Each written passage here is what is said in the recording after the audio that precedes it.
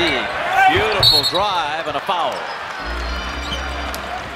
Korver comes off for three and nails it. Quick shovel. Korver finds Teague, finds Horford for three. Bottoms. Great ball movement by the Hawks. And the Hawks get a bucket at the other end to make it 14-9. Logan back to Muskie. Muskie the rebound.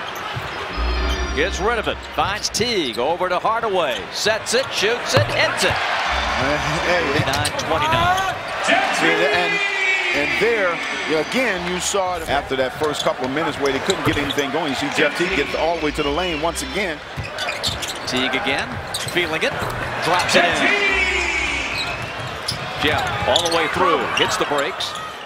Muskie, yes!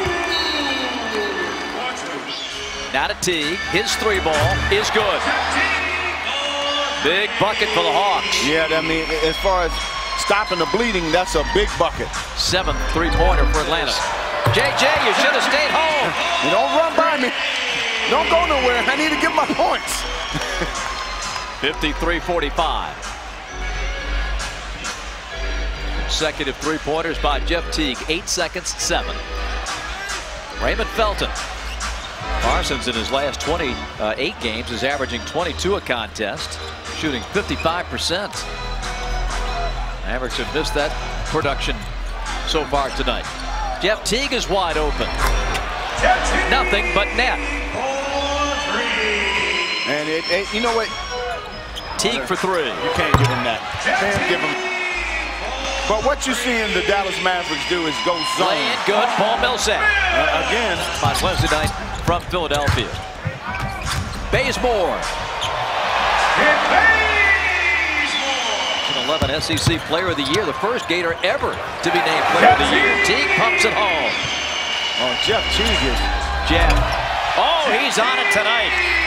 24 for Jeff Teague. And the Mavericks take a timeout. 20-second timeout. Oh, Jeff Teague is on it tonight.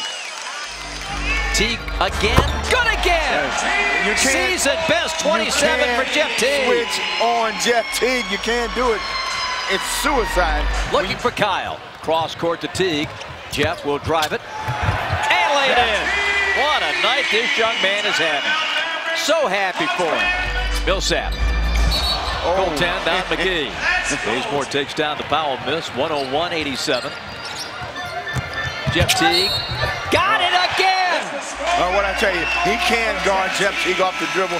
First of all, he's not a point guard, so you're putting him at a disadvantage there. Jeff Teague gets blows by him. Second on John. Well, watch this setup by Jeff Teague. He sets him up with that left hand. Now Korver got the party started. Coach Bud says adios to Rick Carlisle and the Mavericks and Jeff Teague with a season best 32 points, spoiling